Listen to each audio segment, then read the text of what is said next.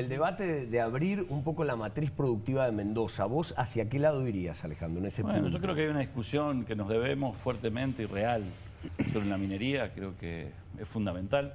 En mi caso tengo todas mis serias dudas por, mm, por la problemática que estamos teniendo sobre agua. El agua, claro. Creo que eh, en definitiva tenemos que ser realistas, pero a la vez tenemos un tema estructural grave con el agua, donde de 5.000 kilómetros de cañería tenemos 500 kilómetros totalmente destruidos, que en vez de gastar 150 litros por persona, o 120, gastamos 350 por día.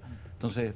De agua potable. No, de repente, viste, estamos viendo consultores israelíes para ver el tema de eficiencia de riego y tenemos una cosa que es ya inmediata que tenemos que arreglar. Claro. Entonces, eh, yo creo que deberíamos empezar a trabajar mucho más en los planes estratégicos de la provincia que queremos, con obviamente que, yo lo digo desde mi punto de vista de empresario y de viticultor, y, pero creo que tenemos que tener realmente estas políticas de Estado que siempre Mendoza de tuvo, ¿no? Eh, Mira, con esto de políticas de Estado, proyectos de iniciativas privadas, Estado articulado, lo dijiste hace un rato, inversión en infraestructura, tanto Estado como privados, por ejemplo, esto del agua. Y hay unos fondos allí que quedaron atrapados por el tema de la pelea con la nación, por Desuelo el Viento. ¿Hacia dónde lo desarrollarías? Hay una parte que ya está comprometido con el vaqueano, ¿no? El proyecto sobre el río Diamante. Pero ¿tenés alguna idea? que- No, que yo seguiría sugerir? trabajando en esto mismo. Creo que nuestro mínimo del IEP se llama, que es el mínimo que nos va a dejar crecer posteriormente Sí. en el tema agua. Así que seguiría trabajando en eso. Eh, también hay que tener un poquito más de trabajo de, de capacitación al respecto. Yo escucho mucho, mucho, por ejemplo, sobre este, eh, pongamos todo río por goteo. El río por goteo no es una solución, es una solución de eficiencia, pero tenemos que modificar la ley de agua porque la misma cantidad de agua me llega a la finca, sea superficial y, Claro. y o goteo. O sea, se abre la compuerta al mismo tiempo y gasta la misma cantidad de agua. claro, Entonces tenemos que hacer realmente una modificación de la ley de agua, tenemos que hacer bastantes cambios que no son tan superficiales, son más bien profundos porque hacen a Mendoza. La ley de agua hace a Mendoza. la ley O sea, que, que hace a ves un, Mendoza. un papel importante en la legislatura en los años Sí. que vienen, una legislatura que también es, es una incógnita lo que pueda llegar a pasar con la Pero, pero hay legislatura que viene. técnica, Ale, porque vos venís de Europa y vas permanentemente a Europa y ahora has estado en Europa y están ardidos. Y viene el calentamiento global, viene acá, la problemática del agua también nos va corriendo las fronteras de la producción. Eh, ¿Estamos dándonos cuenta de lo que pasa? Más allá de la Creo que legislatura, no. técnicamente con Creo que no, creo que no. Creo que nos está faltando bastante de entender.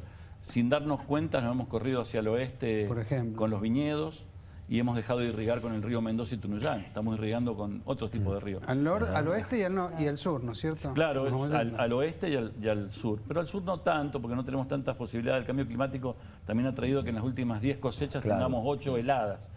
Eh, y este es un año, por ejemplo, muy propenso si no empezamos a tener lluvias para heladas nuevamente. Chacalle, sí, por ejemplo, en la Valle de Bueno. Chacalles, Gualtallarí, eh, mismo Cepillo, son zonas que no son irrigadas por nuestros ríos principales. O sea, ¿Estás viendo con preocupación la falta de nevada? La, la- la- Estoy viendo con preocupación no solamente la falta de nevada, que es algo que no, realmente no podemos modificar fuertemente, estoy viendo con preocup- preocupación la falta de conocimiento de esto.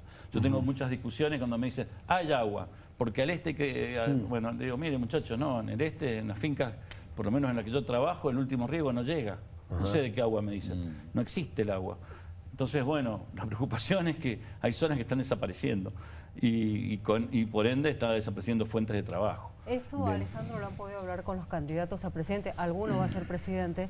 Y decías al comienzo que trabajan el gobierno provincial muy bien con los privados. Pero pasa que hay un desconocimiento o una falta de, de diálogo entre la nación y la provincia. Bueno, es lo que hablábamos de la coyuntura, cuando hablamos de, de la, de que estamos sacando las retenciones, nos ha parecido fundamental. Es una lucha que tenemos hace muchos años, porque las retenciones son para materia prima. Nosotros estamos vendiendo vino, que no tiene nada que ver con eso, y nos habían puesto una retención. No, nosotros no somos un, produ- un producto netamente agrícola, somos un producto que es marca, marca país, marca Mendoza, que va elaborado, que necesita ser elaborado, y nos habían puesto, bueno, sale, perfecto. Agroindustrial. ¿no? Agroindustrial, No, pero hoy tenemos un problema más grave, que es la coyuntura dada por el dólar. Entonces, Claro. bueno, nos da, nos da mucha alegría esto, pero la realidad es que hoy no podemos llegar al mercado no por la retención, Sino por lo otro. No, no, no hay sino porque tenemos un dólar totalmente, este, No hay competitividad. claro, exactamente, entre Eh, otras cosas, pesado. ¿no? Bien. Ahora tenemos, fíjate, tenemos hotelería de primer nivel, por eso somos un centro de convenciones muy importante en Mendoza, el principal del país, del interior. eh, tenemos capital humano, eh, se ha comprendido porque hay proyecto enogastronómico, turístico. Nos está faltando una montaña, ¿no? Desarrollar- Entre otras cosas, la Sí, montaña. ¿no? Tenemos una ruta de ida y vuelta de una vía. No tenemos un baño de acá a Uspallata y los baños de Uspallata tampoco es que sean muy interesantes. Creo que tenemos todavía todo un desarrollo muy fuerte. Potrerillo es es una gran este, ilusión. O sea, estamos desarrollando supuestamente algo, pero no tenemos ni cloacas, lo cual significa que creo que tenemos que hacer un, un impacto ambiental de bien que vamos a hacer. Bueno, hay infinidad de cosas, pero tenemos otros lugares también que son sumamente interesantes y que tenemos que explotar. Eh, estamos muy quedados en infraestructura.